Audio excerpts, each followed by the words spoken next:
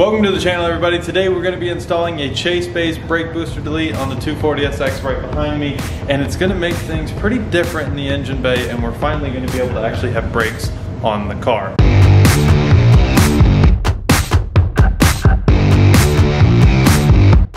First step is to go ahead and get rid of these ugly brake lines and this brake booster. As you guys can see, it's very rusted and disgusting and it's actually seized up too. Oh, look at that, I'm a genius. We're gonna be replacing it with a Chase Bays brake booster delete. Oh, that looks way cooler. That looks so much better. This is a bias valve. It's going to regulate the braking power from the front to the rear. Also, it is going to be where we connect all of our brake lines. And I kind of pretty much can't do this one-handed, but we'll see.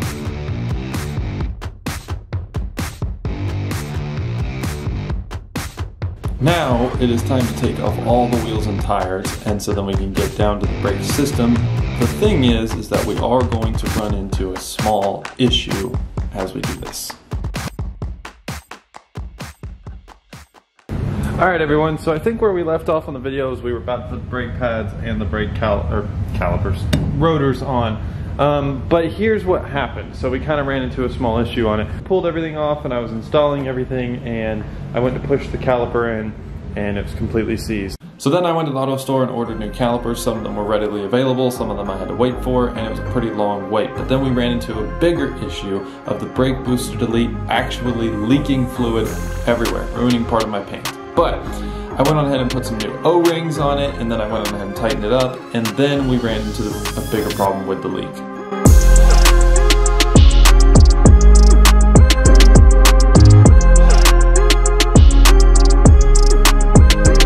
Do you want your squeaky thing in the front or the back? What are you saying to me right now? The squeaky thing.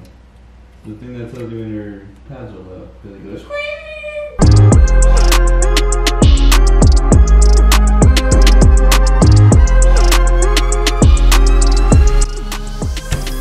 here's that bigger problem I was talking about. The threads had no sealant on them whatsoever. So we're redoing all the sealant on the threads.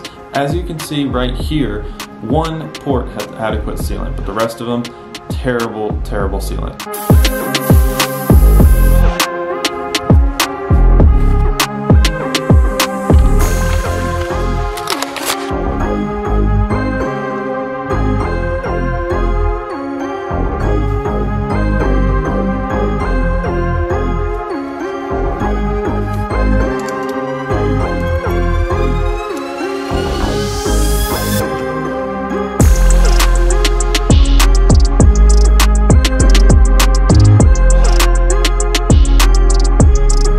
So then it was time to take care of the front brakes, and as we took off the wheels and tires, we ran into a really weird thing that we were not expecting. Is that a spacer? Yep. Two spacers. it's got two spacers. Stacked. That's terrible. No, spacers aren't bad. No, uh, bad spacers are bad. Bad spacers are bad. We don't know if these spacers are good. They are bad. But why are there two stacked on this end? No. So, so you want to know how they're bad? Yeah. You know what makes a good spacer good and bad spacer bad? Huh. So see this? I mean, the build quality. well, this is your hub-centric ring. Yes. A good spacer is tight on that ring. And that one is terrible. Oh my gosh. Look at that. Oh my gosh. That's what that makes is- a bad spacer bad. That's terrible. So the spacers I have on my car are hub-centric, so they're nice and snug. They don't move. Do you think these wheels will, we have to keep those spacers on for the wheels to be on? Well, didn't have spacers on that side. There, Well, there are there are spacers over there. I just looked. Oh, are there? Well, no. Yeah. We can find out. See if they clear the brakes. It's weird that they had two five millimeter spacers stacked Yeah, that's terrible. instead of getting one 10. Maybe it's the lug nuts. Maybe that's why he had spacers. Maybe they don't have enough threads. They could not be long enough. These could be extended studs, Yeah. and so the lug nuts aren't long enough to seat all the way against the wheel. So he has the spacers on to push it out like this. And so instead of getting new lug nuts, he got new spacers. That doesn't really make sense. Instead of getting new lug nuts, he got spacers. Why would you do that? Why wouldn't you just go get new lug nuts? You'd have to get long lug nuts, but that's it. Yeah, but I feel like it's a lot easier than getting four spacers for the front. Spacers are really cheap. Good lug nuts or not. But we'll put the spacers on whenever we're done with this, and then whenever I have time to go to another store again, we'll get I'll get new lug nuts later. All right, that's the plan.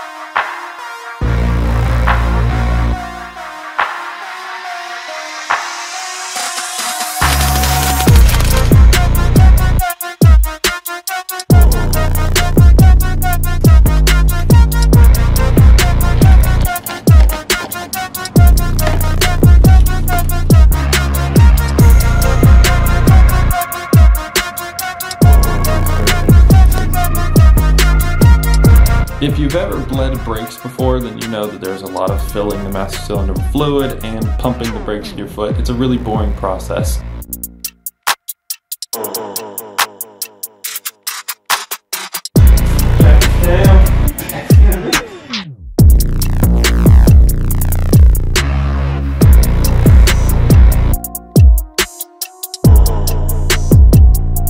Okay, time to test out the brakes. Gonna get my steering wheel to do that.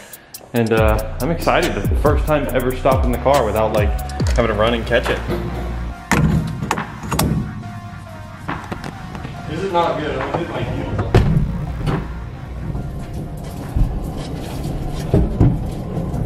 Hey! It stopped, it just sounded terrible. well, that took forever given the fact that. I think that's like the quickest bleed job I've ever done. I don't know, that was the quickest bleed job, but I mean the brake job overall.